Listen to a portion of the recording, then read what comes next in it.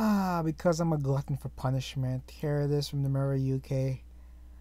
Ah, Deadly Bug has proven that women are the stronger sex. ah, goodness. You know, again, if you want to know like um, propaganda, right? What you have to do is apply to a different race or apply to the next gender, right? That's how you know it's propaganda, right? And you'll always see this propaganda. It's nasty and it's disgusting. And it's usually one-sided. Again, you gotta know your enemies, right? Know who you cannot criticize and know who you can. The people you cannot criticize are usually your enemies, right? And sometimes they're they're unintentionally enemies. Okay, that means they're useful puppets of usually the the elites, the communists, the ruling party, whoever you want to call them, right? So we know um, society uh, panders to women because they tend to vote um, very much um, communist. You know, they tend to vote Marxist.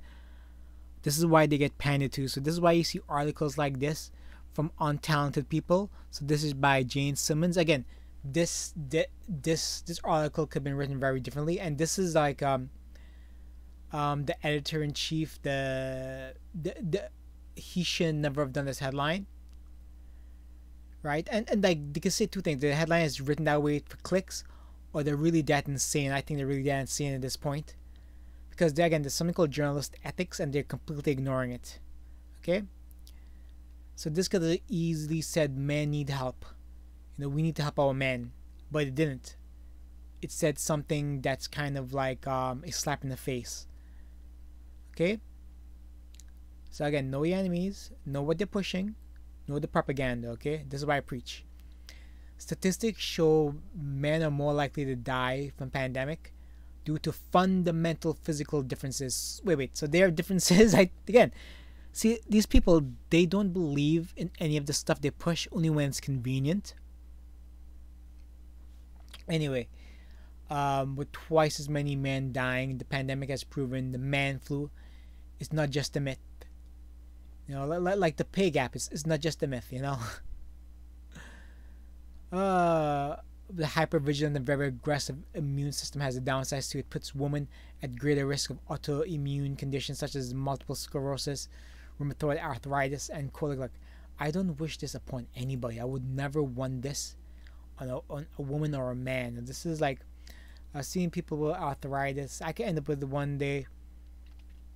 Yeah, my if I ever have kids, I can end up with this one day, and celiac disease can end up with one day. I, I just you know again it's like I would never celebrate stuff like this. You know this is just this is absolutely disgusting. This is what this article sounds like. It's celebrating certain things that it should never be celebrated. Anyway, when the when the first figures emerged in China showed um, virus infection rates were almost the same, initially put down to 62% of uh, Chinese men smoke compared again.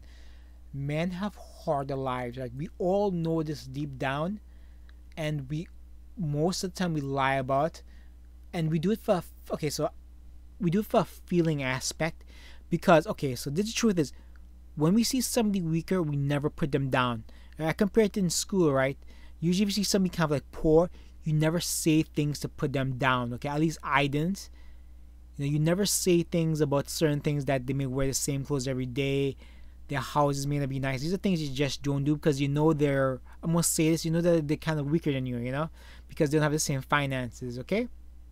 Obviously, late in life that changes.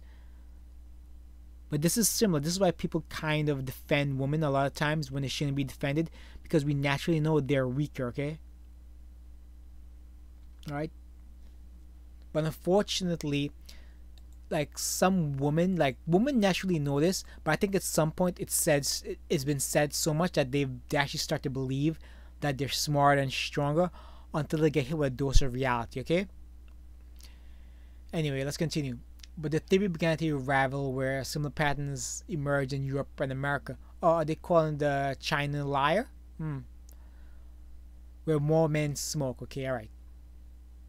Professor Sarah Hawkes of course, is Sarah Hawkes, Director of Center of Gender and Global Health. Oh gosh. Why is there a Center of Gender and Global Health?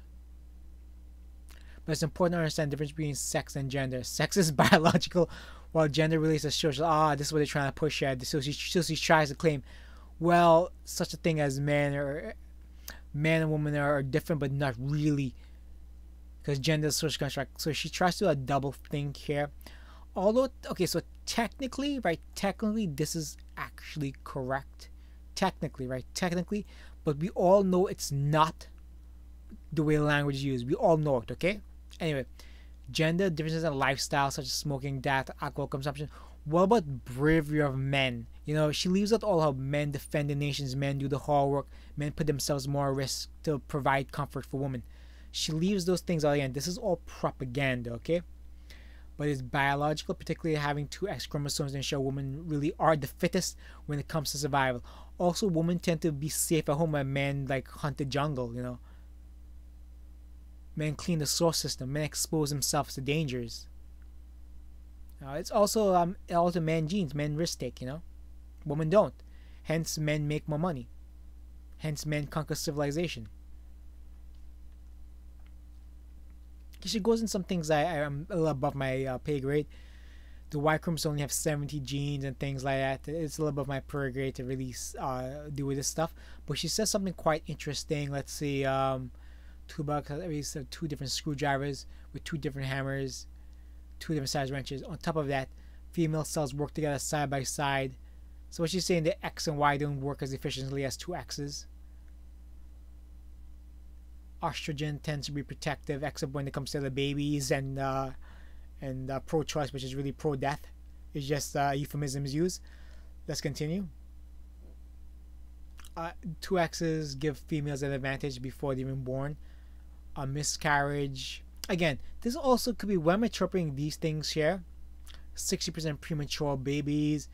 I'm talking about how boys suffer um, from premature cur- um, cerebral palsy and cognitive damage. Um, I, I, uh, right here, right, a fight or flight hormone which primes the body for physical activity. I also think because women, again, girls tend to mature faster. It could be like a girl, even in the womb, has um, a more mature in the womb, you know it could be something simple as that. That's my thinking looking at this. But here's another um, dubious um, article writing. This is a uh, it's well written, like in terms of structure, but it's poor logic behind it. The most obvious example of female survival su- superiority is life expectancy. The Office of National calculates on average a toddler will live to 79.3 years uh, if they're a boy, but 82.9 years if a girl. Okay, Similarly, a 65 year old man can expect to live another 18.6 years, uh, but a woman will live another 21 years. Uh, t- technically, okay, so it's essentially rephrasing the exact same thing here. It's very odd. It's like she tries to make two points with one point.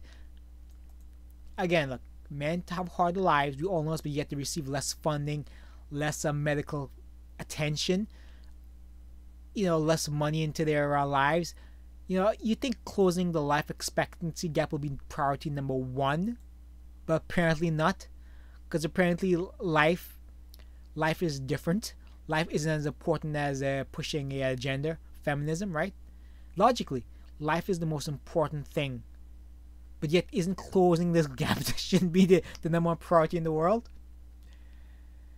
Anyway um, that's the end of this article. Um, talk about risk and things. I'll leave it here. But uh, it's well worth the read um, if you want to know how propaganda works this is full pure propaganda again if it was labeled something um, more um, becoming to men you would have said it's a neutral article, but this is a pro propaganda article by people who should never work in the um, industry. Again, I tell you what happened during, um, but I want to say 2010 to 12. They began. Uh, uh this is the UK, unfortunately, so I don't know how it works there, but I know in the United States, the media was forced to hire minorities, which means women and blacks, over everybody else. And if they didn't, um, I want to say the Justice Department or the um, damn, not the Justice Department. I forgot the not the feds either. Uh, oh gosh, whichever one oversees um, TV. I forget the name of them. Entertainment.